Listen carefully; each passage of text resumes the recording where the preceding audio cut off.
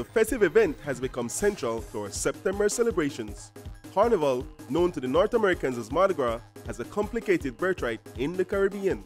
It has ties to colonialism, religious conversions, but ultimately it is an expression of freedom and celebration.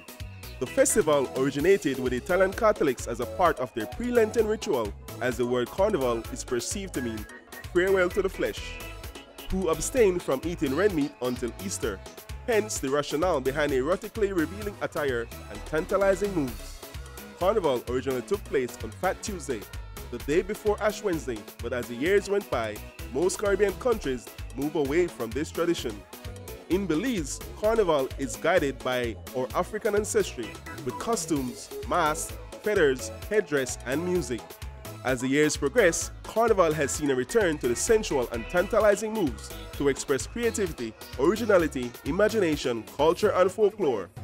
For some revelers, it has become a platform to positively demonstrate against the ills of our society. Look out, look.